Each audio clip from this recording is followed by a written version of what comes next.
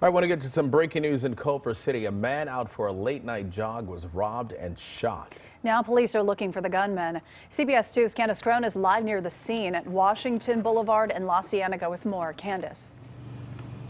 Yeah, just a terrifying experience for this jogger. He was out here in this neighborhood last night uh, when he was attacked. Well, this morning he's in the hospital recovering as police are on the hunt for the shooter. Here's a look at the scene. Officers shut down part of Washington Boulevard around 11 o'clock last night.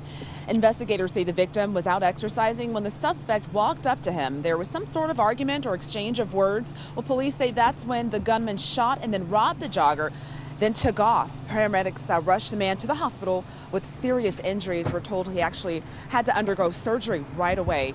At this point, police have not released a description of the suspect, but uh, they believe he made off with the victim's cell phone and possibly some headphones. Authorities are hoping to find some security video uh, in this area. There are several shops and uh, restaurants here along Washington Boulevard as it's a pretty popular stretch, so they're hoping to find uh, some images that will help them catch the suspect. Uh, back out here live, uh, we're still working to learn more about more information about the victim. All we know is that he's a man in his 30s and he lives here in this neighborhood. And of course, if you have any information or possibly saw what happened last night, call Culver City Police. That's the latest in Culver City. I'm Kandiss Crone. DeMarco and Suzanne, back to you.